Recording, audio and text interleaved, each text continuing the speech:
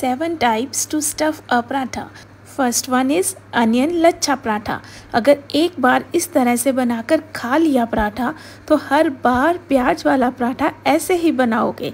देखिए कितना सुंदर पराठा बनकर तैयार हुआ है। सेकंड इज़ आपका, मेरा, हम सबका फेवरेट आलू स्टफिंग वाला पराठा। जिसे आलू पराठा बनाने में दिक्कत आती है, वो इस तरह से बनाएँ।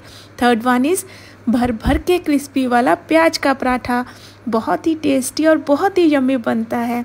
Fourth one is palak paneer paratha, जिसमें एक ही पराठे में आपको पालक भी, पनीर भी, प्याज भी भर भर कर मिलेगा।